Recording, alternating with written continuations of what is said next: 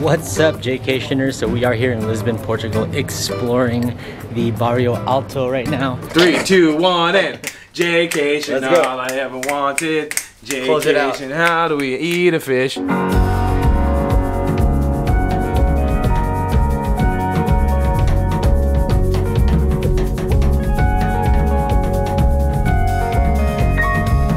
Alright, Jaycationers, we made it over here to Brussels Airport. We're flying over to Lisbon, Portugal to meet up with a couple of homies, a couple travel vlogger friends. So maybe if you guys are subscribed to me, you might know them because you've seen them in a past video or two before. So uh, I'm excited to see them. I'll tell you when I get there. We're safe and sound, just chilling and on our way to Lisbon from Brussels. This is my fourth trip to Lisbon and is definitely in my top 5 favorite cities in all of Europe. Depending on your flight path in, you may be treated to an amazing view of Christ the King statue and the Pont 25 de Abril Bridge, which is the sister bridge of the Golden Gate Bridge in California. Alright guys, just made it to Portugal. What's going on Lisbon? We're back.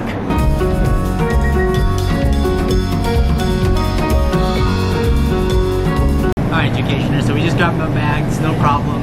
I got the Aerobus from the airport, very easy, it's just like Barcelona.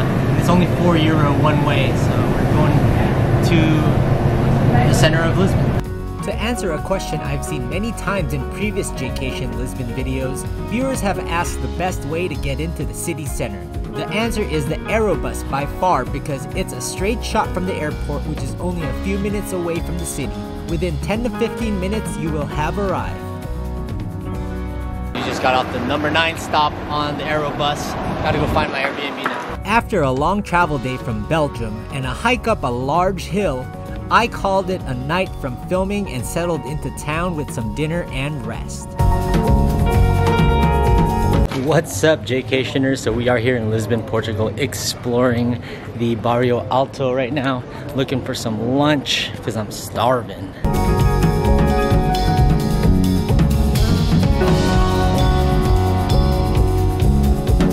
Looks like we've hit Portugal at a good time because it's nice and sunny, a little breeze so it's not too hot, and it's always a beautiful town to look at when it's sunny like this.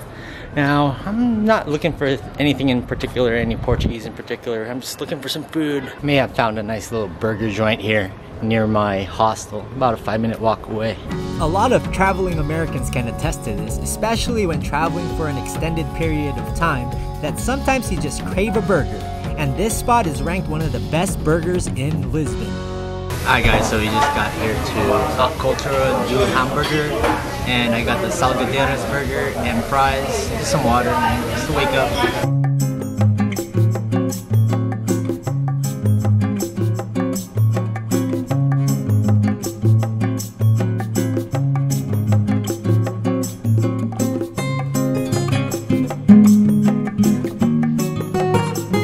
This burger is great. The cheese is amazing, the meat's amazing, and I love the mayo sauce.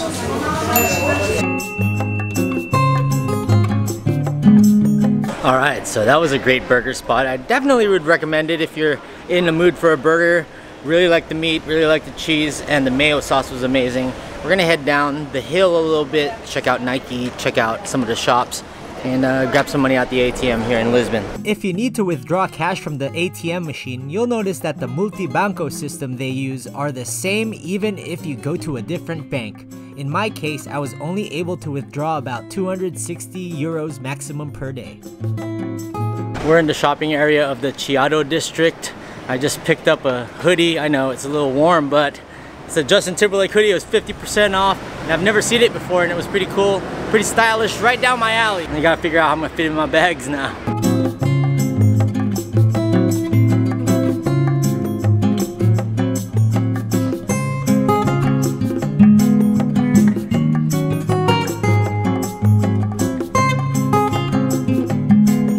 Alright, we're here now at Rua Augusta, one of the main shopping halls in Lisbon.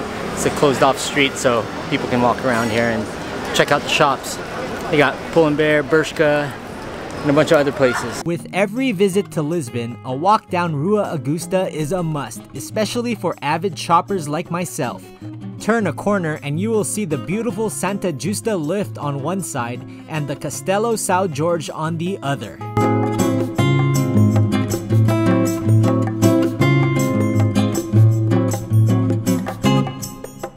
One of my favorite spots to stop by for a beer when in Lisbon is the Duque Brew Pub. Located in the midst of a long stairway climb from the bottom of the city, Duque is a great place to relax and have a brew. Another reason why I'm back in Lisbon is to spend some quality time with my friends Tal and Steve. Ball down, now squeak it out and screech. Screech it out. I'm with these screech. guys today. Peach it out and peach. Jaycation up on screech. Jaycation. This is a Jaycation. Jaycation. This is a Jaycation. Jaycation. Everybody vacation. Uh-huh. Hey. This is a Jaycation. Uh-huh. Yeah. J to the K, K to the shun. Everybody knows I go hands on come. Uh, We're headed out. We're gonna get some food. Yeah. Let's do it. Chicken. Three, two, one, and Jaycation. Let's go. All I ever wanted. Close it out. Jaycation. How do we eat a fish? let's go. Let's go Bye. It's not open. Go look inside. So unfortunately, for the 11th time, we've gone to a restaurant that's closed. Because in August, when you're traveling in Europe in August, a lot of locals go on vacations and a lot of these restaurants, these mom and pop restaurants, go to holiday, go to Jaycation. Tal's a little sad right now, so. A little sad. this was his thing. It's really nice to have uh, two vloggers around and not just me, so We're vlogging yeah, out here. we're vlogging it off. We're all gonna say the same stuff in the same video, but check it out. Check it out. The three Amik bros are uh, going to another place to eat. This is a different part of Lisbon that I haven't been to yet. So exploring new places in a city that I've already been to is always awesome. New experiences, different types of travel. Rato is more of a local neighborhood in Lisbon where you can find these amazing value half lunch plate deals on Portuguese food. We're over in the Rato neighborhood. I hope I'm saying it right. Ratatouille. Ratatouille. Ratatouille, baby. Yeah, yeah. We're getting some of that ratatouille.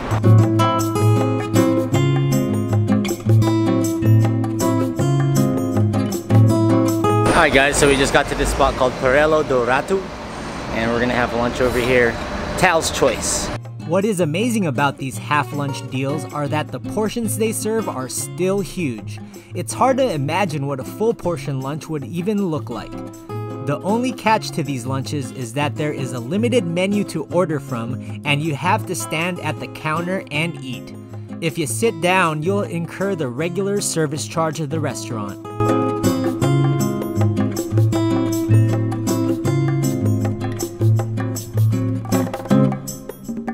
So me, Steve, and Tal are chowing down on carne de porco a portuguesa, stroganoff de vitela, and picanha a brasileira. And they're all under 7 euro and huge portions and a flavor explosion. Oh, good. This one's got pineapple. They got, yeah, ananas. So yeah, we're just gonna grub and fill ourselves up. For you to get this uh, mini pratos, uh, you have to stand up and eat it standing up instead of sitting down. I think it's like a two or three euro difference if you're getting serviced on a, in a table. So we tried to sit at a table first and they told us it was more expensive. So be aware of that, but it's a cool experience sitting down by the counter, by the kitchen, and just seeing all the movement. And this is a huge, it, they call it a mini prato, but it's not a mini, it's, it's huge. One of these plates alone would fill me. So I don't know what a regular plate would be. This is incredible. I'm loving it. I, I want to see how regular plate looks like. It must be like jumbo sized. Me and these guys are chowing down, and um, yeah, we definitely recommend this place. Pastelaria Perola do Rato. 21 euro for three people. And like, I'm full. I'm totally full right now. That was an amazing deal. And they're super, super nice. The service here was awesome. And the food, This was fantastic. I cannot recommend enough. Go check out Tal's channel because he's gonna have a really nice food guide to this. Come on out, baby. And he's a lot more detailed than I am because I just say, ooh, good, it's good, it tastes good. Hey, it tastes good, huh? It tastes My name is good. J.K. I like to eat a little bit of food, huh? Hey Steve, what do you think? It tastes good. Mm, magnifique, I love. Magnifique, I love it. Bon appetit. One of the many things I love about Lisbon are these pastelarias and bakeries around town. If you haven't tried a pastéis de nata yet, it's heavenly and a must try. Check out my past Lisbon video on a trip with my dad, where we go to try pastéis de Belém, the city's most popular custard tarts. So I'm the only lone active vlogger for dinner tonight. 'Cause, uh, you know, we don't need to vlog everything. Yeah, he's vlogging it out. We'll vlog it out. We're uh, having sushi because we needed to change. They're tired of tapas. Yeah. And uh, we did too much of that European food. We gotta change it up a bit. Thank you. Obrigado. Sushi it is. Right next to our hostels too. It's like sandwiched in between my hostel, sandwiched in between their hostel.